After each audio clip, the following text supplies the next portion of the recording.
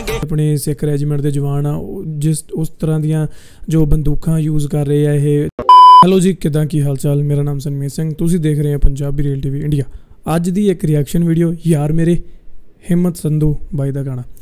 ਇਸ ਗਾਣੇ ਤੇ ਕਿਸੇ ਨੇ ਮਤਲਬ YouTube ਨੇ ਮਤਲਬ ਬੰਦ ਕਰਤਾ ਸੀ ਇਹ ਗਾਣਾ, ਕਿਉਂਕਿ ਇਹਦੇ ਵਿੱਚ ਕਹਿੰਦੇ ਵੈਪਨਸ ਦਿਖਾਏ ਗਏ ਆ ਜਾਂ ਇਹ ਉਹ ਫਲਾਣਾ ਢਿਉਂਗਾ ਪਰ ਹਿੰਮਤ ਸੰਧੂ ਬਾਈ ਨੇ ਸਟੋਰੀ ਲਾਈ ਸੀਗੀ, ਕਹਿੰਦੇ ਯਾਰ ਮਤਲਬ ਇਹ ਕੋਈ ਗੱਲ ਬਣਦੀ ਹੈ ਹੈ? ਮਤਲਬ ਪਰ YouTube ਦੇ ਆਪਣੇ ਅਲਗੋਰਿਥਮਸ ਹੁੰਦੇ ਆ, ਪਰ ਇਹਨਾਂ ਨੇ ਇਹ ਚੀਜ਼ ਸੌਰਟ ਆਊਟ ਕਰ ਲਈ ਹੈ ਸੋ ਗਾਣਾ ਦੇਖਦੇ ਆ ਕਿਦਾਂ ਦਾ, ਠੀਕ ਹੈ? ਆਜੋ ਬਾਈ ਦੇ ਚੈਨਲ ਤੇ ਹੀ ਗਾਣਾ।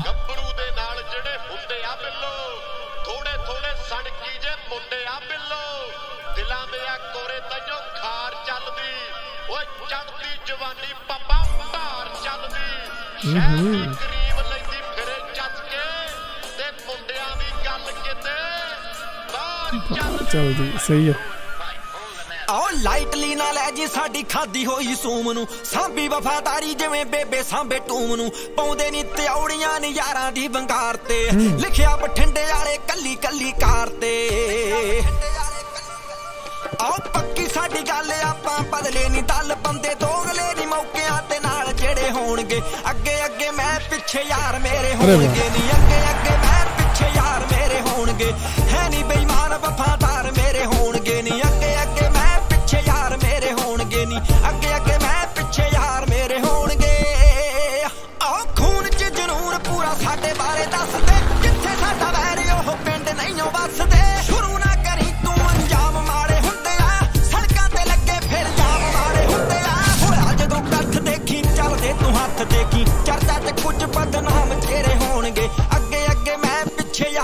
ਹੋਣਗੇ ਓਏ ਅੱਗੇ ਅੱਗੇ ਮੈਂ ਪਿੱਛੇ ਯਾਰ ਮੇਰੇ।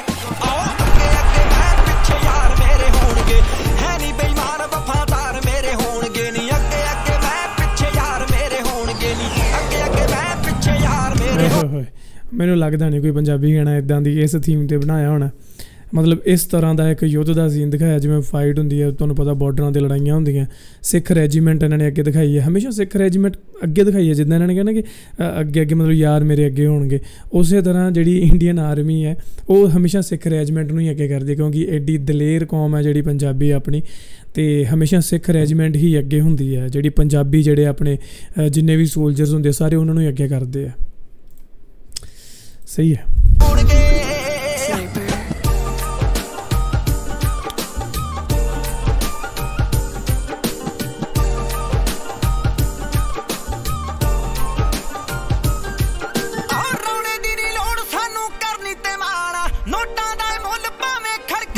ਦੀਆਂ effects? ਬੋਤਲਾਂ ਨਾ ਖਾਰੇ ਜਿਵੇਂ ਹੁੰਦੇ ਆ ਨੀ। ਕੱਲੇ ਚੰਨ ਨਾਲ ਖੜੇ ਤਾਰੇ ਜਿਵੇਂ ਹੁੰਦੇ ਆ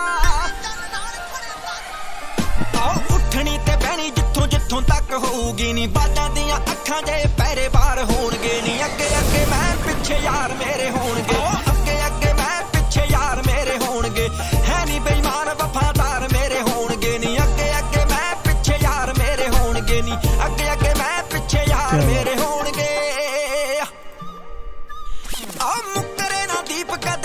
ਕਦੇ ਬਦਲੇ ਰੰਨਾ ਨਾਲੋਂ ਵੱਧ ਗੰਨਾ ਵੱਲ ਨੂੰ ਧਿਆਨ। ਖੁੱਲੇ ਦਿਲ ਪੈਟਾਂ ਦੀਆਂ ਮੂਰੀਆਂ ਦੇ ਵਰਗੇ ਇੱਕ ਨੇ ਵੀ ਕਹਿਤਾ ਜਿੱਥੇ ਉੱਥੇ ਅੜ ਜਾਣ। ਨੀ ਨਿਕਲੇ ਆ ਬਾਹਰ ਬੜੇ ਚਿਰ ਤੋਂ ਫਰਾਰ ਭੇਦ। ਦੁਨੀਆ ਨੂੰ ਹੈ ਨਹੀਂ ਕਦੋਂ ਕਿੱਥੇ ਡੇਰੇ ਹੋਣਗੇ। ਅੱਗੇ ਅੱਗੇ ਮੈਂ ਪਿੱਛੇ ਯਾਰ ਮੇਰੇ ਹੋਣਗੇ ਨੀ। ਅੱਗੇ ਅੱਗੇ ਮੈਂ ਪਿੱਛੇ ਯਾਰ ਮੇਰੇ। ਆਓ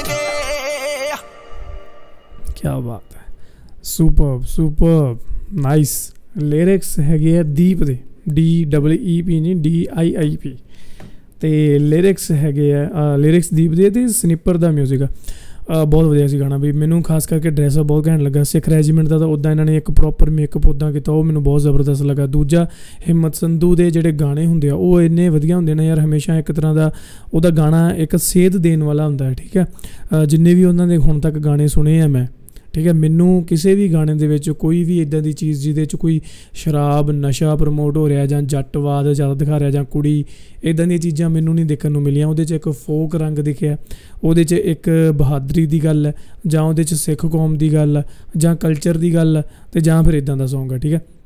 ਐਂਡ ਇਹਦੇ ਵਿੱਚ ਦੇਖੋ ਮੇਕਅਪ ਕਿੰਨਾ ਜ਼ਬਰਦਸਤ ਕੀਤਾ ਇਹਨਾਂ ਨੇ। ਪ੍ਰੋਪਰ ਉਦਾਂ ਹੀ ਗੈਟਅਪ ਲਿਆ ਸਾਰਿਆਂ ਨੇ, ਜਿੰਨੇ ਵੀ ਆਪਣੇ ਸਿੱਖ ਰੈਜੀਮੈਂਟ ਦੇ ਜਵਾਨ ਆ, ਉਹ ਜਿਸ, ਉਸ ਤਰ੍ਹਾਂ ਦੀਆਂ ਜੋ ਬੰਦੂਕਾਂ ਯੂਜ਼ ਕਰ ਰਹੇ ਆ ਇਹ, ਜਿਨ੍ਹਾਂ ਦੇ ਅੱਗੇ ਛੁਰਾ ਲੱਗਾ ਹੁੰਦਾ ਇੱਕ ਵੱਡਾ ਸਾਰਾ, ਠੀਕ ਹੈ ਉਹ ਉਹ ਚੀਜ਼ਾਂ ਤੇ ਜਾਂ ਫਿਰ ਜਿਹੜਾ ਇੱਕ VFX ਇਹਨਾਂ ਨੇ ਜਿੱਦਾਂ ਦੇ ਯੂਜ਼ ਕੀਤੇ ਆ ਕਲਰ ਕਰੈਕਸ਼ਨਸ ਬਹੁਤ ਵਧੀਆ ਰੱਖੀਆਂ ਪੂਰੀ ਵੀਡੀਓ ਦੇ। ਇੱਕ ਪ੍ਰੋਪਰ ਲੱਗ ਰਿਹਾ ਕਿ ਜੰਗ ਦਾ ਮਾਹੌਲ ਆ, ਕਦੇ ਇਧਰੋਂ ਪਲੇਨ ਜਾ ਰਿਹਾ ਹੈ ਫਾਈਟਰ ਜੈਟ ਜਾ ਰਹੇ ਆ, ਕਦੇ ਉਧਰੋਂ ਜਾ ਰਹੇ ਆ ਠੀਕ ਹੈ ਵਿੱਚ ਬੰਬ ਬਲਾਸਟ ਹੋ ਰਹੇ ਆ। ਮਿਊਜ਼ਿਕ ਦੇ ਜਿਹੜੇ ਸਾਊਂਡ ਇਫੈਕਟਸ ਹੈ ਵਿੱਚ ਫਾਈਟ ਵਾਲੇ, ਉਹ ਸੀਕੁਐਂਸ ਬਹੁਤ ਘੈਂਟ ਲੱਗ ਰਹੇ ਆ। ਦੂਜੀ ਗੱਲ ਕਿ ਜਿਹੜਾ ਬਾਈ ਨੇ ਕੁੜਤਾ ਚਾਦਰਾ ਪਾਇਆ, ਉਹਦੇ ਤੋਂ ਇੱਕ ਪਤਾ ਲੱਗਦਾ ਕਿ ਯਾਰ ਇੱਕ ਪੰਜਾਬੀ ਬੰਦੇ ਦਾ ਗਾਣਾ ਅੱਜ ਕੱਲ ਪੰਜਾਬੀ ਸੌਂਗਸ ਦੇ ਵਿੱਚ ਵੈਸਟਰਨ ਕਲਚਰ ਬਹੁਤ ਮਿਕਸ ਹੋ ਚੁੱਕਿਆ ਜੋ ਕਿ ਮਾੜੀ ਗੱਲ ਨਹੀਂ ਹੈ। ਮਾੜੀ ਗੱਲ ਉਹ ਆ ਕਿ ਜਦੋਂ ਪੰਜਾਬੀ ਕਲਚਰ ਨੂੰ ਬਿਲਕੁਲ ਹੀ ਛੱਡ ਦਿੰਨੇ ਆ ਠੀਕ ਹੈ? ਪਰ ਇਦਾਂ ਦੇ ਗਾਣੇ ਵੀ ਨਾਲ ਨਾਲ ਆਉਂਦੇ ਰਹਿਣ ਤਾਂ ਚੰਗਾ ਲੱਗਦਾ ਕਿ ਹਾਂ ਯਾਰ ਚਲੋ ਹਜੇ ਵੀ ਲੋਕ ਆ ਜਿਹੜੇ ਉਹ ਮਤਲਬ ਸੱਭਿਆਚਾਰ ਨੂੰ ਲੈ ਕੇ ਚਿੰਤਤ ਆ। ਰਣਜੀਤ ਬਾਵਾ ਹੋ ਗਿਆ, ਹਿੰਮਤ ਸੰਧੂ ਹੋ ਗਏ ਵੀਰ ਸਿੰਘ ਹੋ ਗਿਆ, ਅਮਰਿੰਦਰ ਗਿੱਲ ਹੋ ਗਿਆ, ਇਹ ਕੁਝ ਆਰਟਿਸਟ ਇਦਾਂ ਦੇ ਆ ਜਿਹੜੇ ਬਾਕੀਆਂ ਤੋਂ ਵੱਖਰੇ ਆ। ਇਹਨਾਂ ਇਹ ਕਿਸੇ ਕੰਪੀਟੀਸ਼ਨ 'ਚ ਨਹੀਂ ਚੱਲਦੇ। ਇਹ ਮਤਲਬ ਆਪਣਾ ਕੰਮ ਕਰ ਰਹੇ ਆ, ਬਸ ਆਪਣੇ ਤਰੀਕੇ ਨਾਲ, ਆਪਣੀ ਇੱਕ ਸੇਧ ਨਾਲ ਕੰਮ ਕਰ ਰਹੇ ਆ। ਉਹ ਉਹਨਾਂ ਦੇ ਆਰਟਿਸਟਾਂ ਉਹ ਮਤਲਬ ਉਹਨਾਂ ਆਰਟਿਸਟਾਂ ਵਿੱਚੋਂ ਹੀ ਇਹ ਇੱਕ ਨੇ, ਠੀਕ ਹੈ? ਸੋ ਜੇਕਰ ਆਪਾਂ ਚਲੋ ਗਾਣੇ ਗਾਣੇ ਤਾਂ ਬਹੁਤ ਸੁਣਦੇ ਆ ਕਮੈਂਟ ਪੜ੍ਹਦੇ ਆ ਅੱਜ। ਹਿੰਮਤ ਸੰਧੂ ਸਾਹਿਬ ਜਿੰਨੀ ਤਾਰੀਫ ਕੀਤੀ ਜਾਵੇ ਇਸ ਗਾਣੇ ਦੀ ਉਨੀ ਘੱਟ ਹੈ ਠੀਕ ਹੈ? ਜਿਉਂਦੇ ਵਸਦੇ ਰਹੋ ਮਾਲਕ ਤੁਹਾਡੇ ਦੇ ਮਿਹਰ ਰੱਖੇ। Himmat Sandhu never disappoints it beat songs this man has got no competition ਮੈਂ ਕਹਿ ਰਿਹਾ ਨਾ ਇਹ ਇਦਾਂ ਦੇ ਜਿਹੜੇ ਕੁਝ ਆਰਟਿਸਟ ਹੈ ਜਿਨ੍ਹਾਂ ਦਾ ਕੰਪੀਟੀਸ਼ਨ ਨਹੀਂ ਹੈ। ਅੱਜ ਕੱਲ ਜਾਰਡਨ ਸੰਧੂ ਵੀ ਬੜਾ ਚੱਲਣ ਡਿਆ ਨਾ। ਹਮ, ਅਚਾਨਕ ਗਾਣਾ ਰਿਕਮੈਂਡ ਹੋ ਗਿਆ ਮੈਨੂੰ ਤਾਂ ਪਤਾ ਲੱਗ ਗਿਆ। ਅ, ਮੂਸੇ ਵਾਲਾ ਮੂਸੇ ਵਾਲਾ ਕਿੱਥੇ ਬੋਲਦਾ ਯਾਰ ਸਾਰਿਆਂ ਨੂੰ? ਕਮੈਂਟ ਮਤਲਬ ਜਿੱਥੇ ਮਰਜ਼ੀ ਹੋਵੇ ਲੀਜੈਂਡਸ ਨੇ they sing you reminds me of Bindrakhia. ਰੱਬ ਤੁਹਾਨੂੰ ਚੜ੍ਹਦੀ ਕਲਾ ਚ ਰੱਖੇ ਆਵਾਜ਼ ਥੋੜੀ ਟੋਨ ਮਿਲਦੀ ਹੈ ਵਾਕਈ ਮਿਲਦੀ ਹੈ। 1.22 ਤੇ 1.25 ਤੇ ਗੂਜ਼ਬੰਪਸ ਕਿਹੜਾ ਕਿਹੜੀ ਕੀ ਸੀਗਾ ਦੇਖ ਲੈਂਦੇ ਆਪਾਂ ਕੀ ਸੀਗਾ SEO tool? 1.25 ਤੇ। Looking for ਜ- ਜਦੋਂ ਫਾਈਟ ਸੀਨ ਦਿਖਾਉਂਦੇ ਆ ਪਿੱਛੇ ਇੱਕ VFX ਬਹੁਤ ਅੱਛੇ ਯੂਜ਼ ਕੀਤੇ ਇਹਨਾਂ ਨੇ ਉਹ ਬੁਲੇਟਸ ਦੀਆਂ ਜੋ ਲਾਈਟਸ ਉਦਾਂ ਦੀਆਂ ਹੁੰਦੀਆਂ। ਅੱਛਾ ਕਈ ਵਾਰੀ ਤਾਂ ਇਹ ਹੁੰਦਾ ਪਰ ਪਾਕਿਸਤਾਨ ਤੋਂ ਮੈਂ ਇੱਕ ਵੀਡੀਓ ਦੇਖੀ ਸੀਗੀ ਜਿਹਦੇ ਵਿੱਚ ਭਰਾਵਾ ਮਤਲਬ ਨੇਚਰ ਵੱਲੋਂ ਨਹੀਂ ਇੱਕ ਨੇਚਰ ਵੱਲੋਂ ਕਹਿੰਦੇ ਆ ਮਤਲਬ VFX ਨਹੀਂ ਸੀਗਾ। ਉਹ ਐਕਚੁਅਲ ਦੇ ਵਿੱਚ ਬੁਲਟ ਆਉਂਦੀਆਂ ਕੁਝ ਇਦਾਂ ਦੀਆਂ, ਜਿਨ੍ਹਾਂ ਦੇ ਵਿੱਚ ਲਾਈਟਸ ਜਗਦੀਆਂ। ਤੇ ਉਧਰਲੇ ਪਠਾਨੀ ਬੜੇ ਭੈੜੇ ਆ। ਉਹ ਮਤਲਬ ਕਿਸੇ ਵਿਆਹ ਸ਼ਾਦੀਆਂ ਤੇ ਫੰਕਸ਼ਨਾਂ ਤੇ ਬੜੀ ਖੁੱਲ੍ਹੇਆਮ ਫਾਇਰਿੰਗ ਕਰਦੇ ਆ। ਪਤਾ ਨਹੀਂ 2-2000 3-3000 ਗੋਲੀਆਂ ਚਲਾਉਂਦੇ ਆ ਉਹ। ਤੇ ਆਪਣੇ ਹਜੇ ਇਧਰ ਵਿਆਹਾਂ ਸ਼ਾਦੀਆਂ 'ਚ ਕਿੰਨਾ ਚੱਲਦਾ, ਪਰ ਪਾਕਿਸਤਾਨ 'ਚ ਆਪਣੇ ਨਾਲੋਂ ਕਈ ਗੁਣਾ ਜ਼ਿਆਦਾ ਜਿਹੜਾ ਗਨ ਕਲਚਰ ਹੈ ਪਰ ਫਿਰ ਵੀ ਲੋਕੀ ਮਤਲਬ ਆਪਣੇ ਪੰਜਾਬ ਨੂੰ ਇਧਰ ਜ਼ਿਆਦਾ ਕਹਿ ਦਿੰਦੇ ਆ। ਕੀਤੀ ਮਿਹਨਤ ਨੂੰ ਰੱਬ ਰੰਗ ਲਾਵੇ। ਗ੍ਰੇਟ ਵਰਕ ਹਿੰਮਤ ਸੰਧੂ ਬਾਈ। ਮਤਲਬ ਸਾਰੇ ਪੋਜ਼ਿਟਿਵ ਕਮੈਂਟਸ ਆ ਯਾਰ, ਮੈਨੂੰ ਕਿਤੇ ਵੀ ਕੁਝ ਇਦਾਂ ਦਾ ਨਹੀਂ ਦੇਖ ਰਿਹਾ, ਕਿਉਂਕਿ ਜੇਕਰ ਉਹ ਕੁਝ ਵੱਖਰਾ ਕੰਮ ਕਰ ਰਹੇ ਆ, ਤਾਂ ਉਹ ਦੇਖ ਵੀ ਰਿਹਾ ਸਕਰੀਨ ਤੇ, ਹਨਾ? ਸਭ ਕੁਝ ਵਧੀਆ ਯਾਰ ਇਦਾਂ ਦੇ ਗਾਣੇ ਆਉਂਦੇ ਰਹਿਣ ਰੱਬ ਚੜ੍ਹਦੀ ਕਲਾ 'ਚ ਰੱਖੇ ਤੁਹਾਨੂੰ ਸਾਰਿਆਂ ਨੂੰ ਐਂਡ ਜਿੰਨਾਂ ਨੇ, ਜਿੰਨੀ ਵੀ ਟੀਮ ਨੇ ਕੰਮ ਕੀਤਾ, ਸਾਰਾ ਅੱਛਾ, ਬਹੁਤ ਵਧੀਆ ਕੀਤਾ congratulations for that and best of luck ਤੁਹਾਡੇ ਨਵੇਂ ਗਾਣਿਆਂ ਦੇ ਲਈ। ਮਿਲਦੇ ਹਾਂ ਕਿਸੇ ਆਪਾਂ ਹੋਰ ਵੀਡੀਓ 'ਚ, ਸਤਿ ਸ਼੍ਰੀ ਅਕਾਲ।